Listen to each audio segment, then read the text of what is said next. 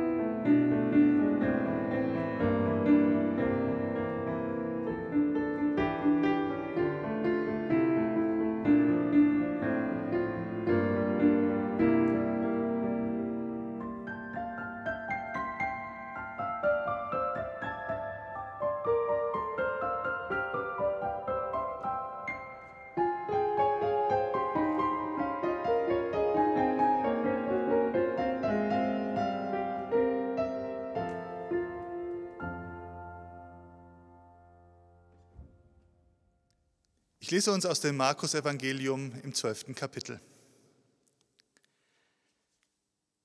Einer der Schriftgelehrten, der ihnen zugehört hatte, wie sie miteinander stritten, trat zu Jesus. Als er sah, dass er ihnen gut geantwortet hatte, fragte er ihn, welches ist das höchste Gebot von allen? Jesus antwortete, das höchste Gebot ist das. Höre Israel, der Herr unser Gott ist der Herr allein. Und du sollst den Herrn, deinen Gott, lieben, von ganzem Herzen, von ganzer Seele, von ganzem Gemüt und mit all deiner Kraft. Das andere ist dies, du sollst deinen Nächsten lieben wie dich selbst. Es ist kein anderes Gebot größer als diese. Und der Schriftgelehrte sprach zu ihm, Ja, Meister, du hast recht geredet, es ist einer und ist kein anderer außer ihm, und ihn lieben von ganzem Herzen, von ganzem Gemüt und mit aller Kraft, und seine Nächsten lieben wie sich selbst, das ist mehr als alle Brandopfer und Schlachtopfer.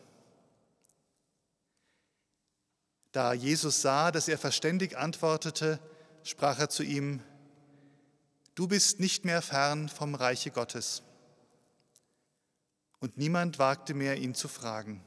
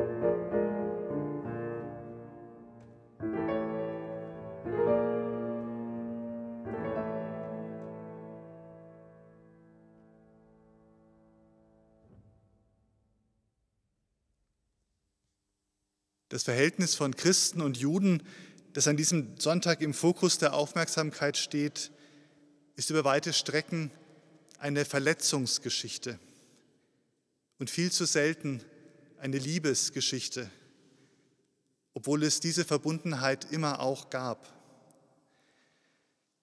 Aber wenn wir in diesem Jahr an den 75. Jahrestag des Kriegsendes erinnern, dann steht uns auch das größte Versagen der Christenheit vor Augen, dass da keine Nächstenliebe war, die Millionen von jüdischen Brüdern und Schwestern, von Mitbürgern und Hausgenossen vor der Verfolgung und Ermordung geschützt hätte.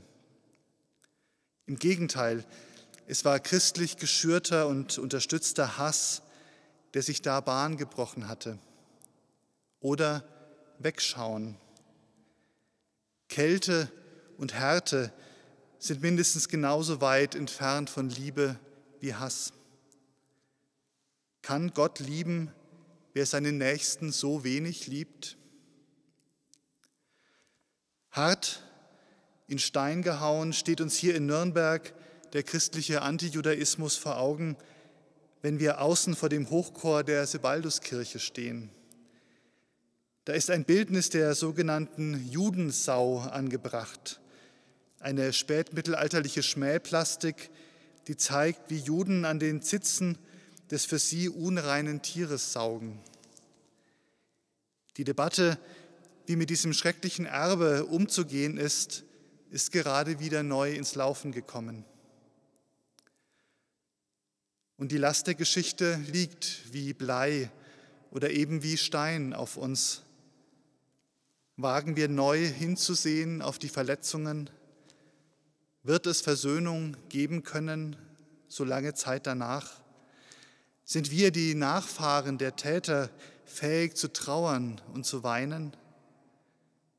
Kann es neue Geschwisterlichkeit geben zwischen Christen und Juden?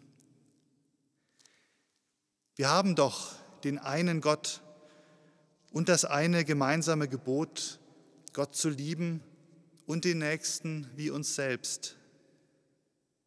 Können wir so auf dieser Grundlage zueinander finden? Der jüdische Dichter Paul Celan hat nach 1945 ein Gedicht geschrieben, das mir Hoffnung gibt, dass wir herauskommen können aus Versteinerungen und Verhärtungen, uns die Augen öffnen lassen, die Wimpern nutzen als Bohrer im Gestein der offene Blick ist der Anfang eines Weges, an dessen Ende Geschwisterlichkeit stehen könnte. Solidarität zunächst, vielleicht auch Liebe, wenn wir das für uns überhaupt hoffen dürfen. Das Gedicht hat den Titel Zuversicht.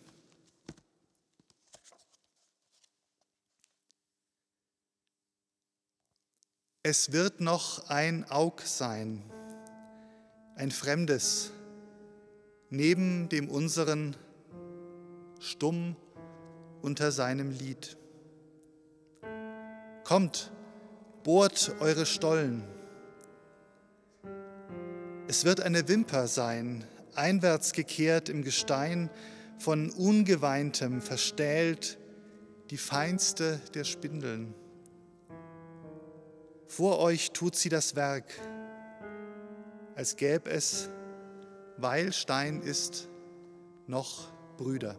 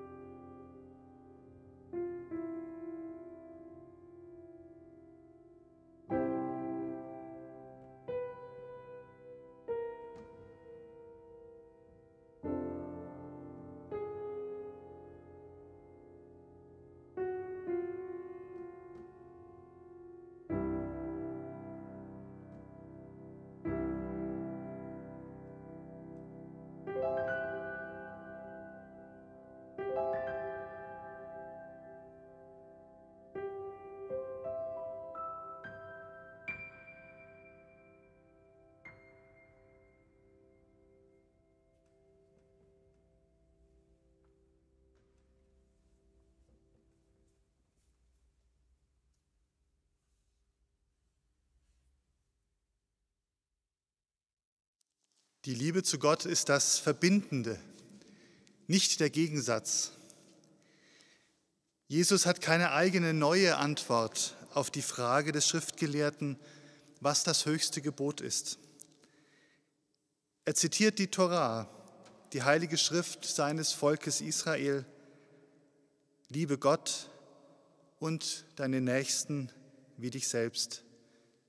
Mehr braucht es nicht.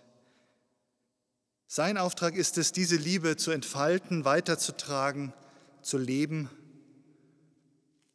Und so wie es auch Paulus, der Apostel der Heiden, es versteht, es gilt, neue Menschen dazu zu holen in diesen weiter bestehenden Liebesbund mit Gott. Und Christus ist es, der diese Türen öffnet, weit aufmacht. Was ist das für eine Liebe, wie kann man sie beschreiben? Ein neues Kirchenlied findet dafür so schöne, schlichte und klare Worte, dass ich sie mit Ihnen einmal anschauen möchte.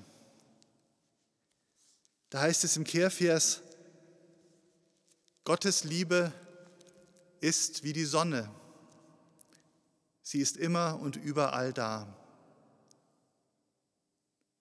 Darin steckt für mich schon die ganze Zusage des Evangeliums, die frohe Botschaft. Gott ist Licht, Gott ist Wärme, Gott ist Leben.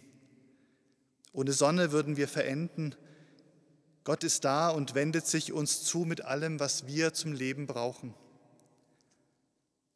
Gottes Liebe ist wie die Sonne. Sie ist immer und überall da.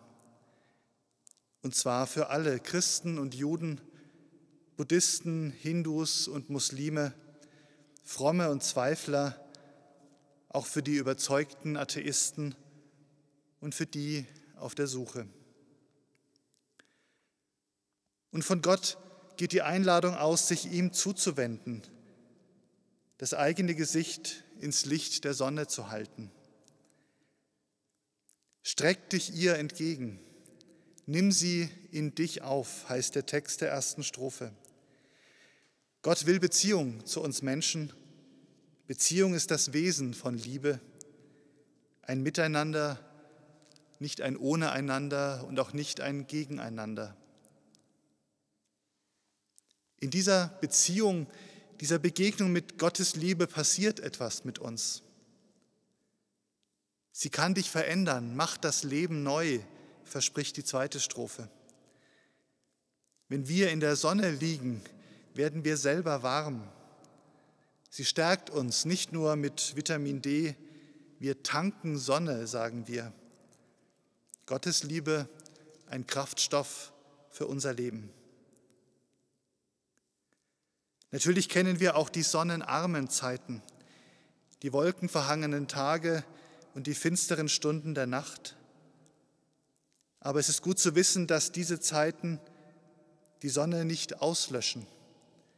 Sie ist hinter den Wolken da, sie kehrt am Morgen zurück. Darauf können wir uns verlassen.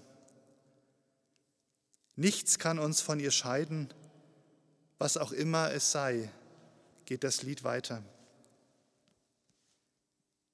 Und es gibt einen, der für diese Wahrheit einsteht, der für uns ein Beispiel ist, wie durch die Nacht des Kreuzes der Ostermorgen wiederkehrt mit seinem Licht. Wir Christinnen und Christen haben ihn als Zeugen, als Boten aus dem Volk Israel und als Garanten, denn der Herr dieser Liebe, Jesus Christus, ist treu schließt das Lied. Dass wir uns darauf verlassen, heißt nicht, dass andere Menschen nicht im Licht der Liebessonne Gottes stehen. Es ist unser Zugang, uns geschenkt. Aber das eine Ziel verbindet uns alle, Gott. Denn Gottes Liebe ist wie die Sonne, Sie ist immer und überall da. Amen.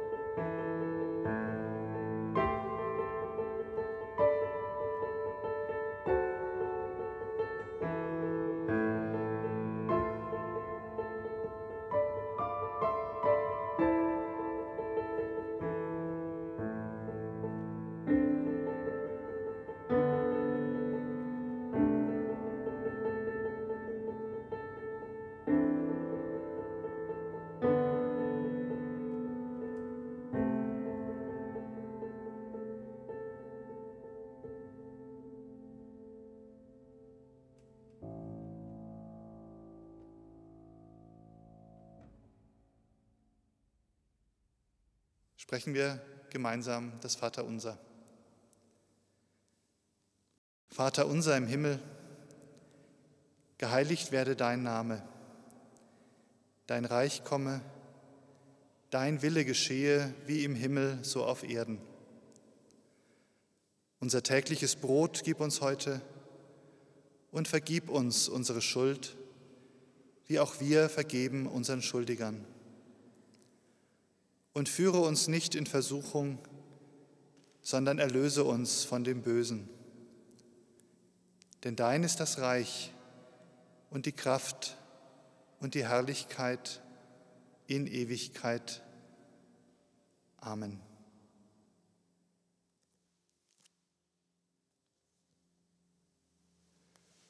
So geht in diesen Sonntag und in die neue Woche geborgen in Gottes großer, ungeteilter Liebe. Gott segne euch und behüte euch. Gott lasse sein Angesicht leuchten über euch und sei euch gnädig. Gott erhebe sein Angesicht auf euch und gebe euch Frieden. Amen.